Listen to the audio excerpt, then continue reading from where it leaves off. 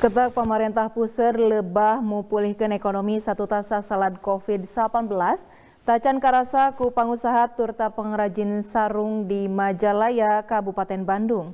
Pangnak itu kiwari keayaan di sektor industri ngarandapan rereged salah sejina ngajauna harga bahan baku kernyen sarung anu ngahontal 25 tepika 40 persen batan sasari. Tilu bulan katompernakeun pangusaha tur pengrajin sarung di Majalaya Kabupaten Bandung ngarahu domeng harga sakumna jenis benang ke bahan baku kernyenan sarung ngajauh 25 tepi ke 40 persen batan sasari. Naikna harga benang teh diirong ka pangaruhan ku ngajauhna harga minyak dunia. Eta teh karandapan meh sakumna jenis bahan baku sarung kawas harga katun anu samemehna genep juta kiwari jadi 10 juta per bal. Benang jenis TR anu hargana 8,8 juta naik jadi 12 juta per bal. Samalah anu panghareana naik nyata harga benang jenis polyester anu sasarina ukur 24.000 giwari jadi 30.000 per kilo. Naikna harga bahan baku teh mengaruhan bati produksi. Upama sasarina dina sakali produksi pengusaha mampu nyangking bati 10% tina jumlah modal, kiwari geus teu bisa dierong deui lantaran mangaruhan beuki ngurangan anak kuantitas produk. Sakapeung mah pengusaha ukur bisa balik modal sarta henteu arang bakal nandangan rugi. Sanajan kiwari pemerintah puseur keur memejehna memulihkeun ekonomi satu tasa salat COVID-19, tapi eta hal teh tacan karasa ku pangusaha sarta pengrajin sarung di Majalaya.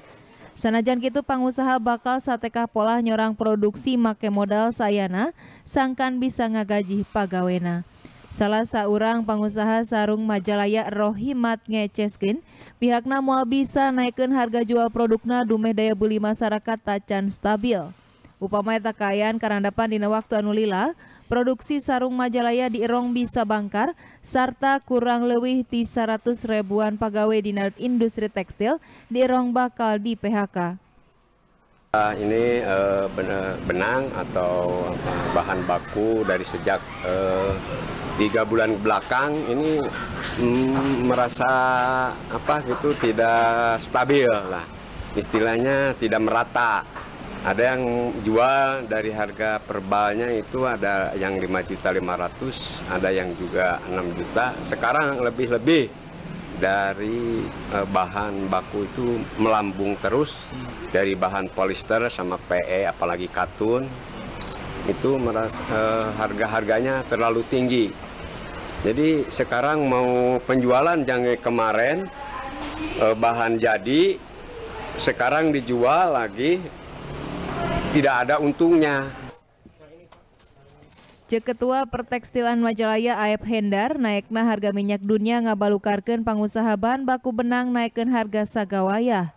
Pihakna miharap ketak pemerintah pusir sagancang ngontrol harga benang, sangkan pengusaha bisa nyorang produksi kawasasari. Uh, pertekstilan uh, di Majalaya otomatis ikut prihatin juga.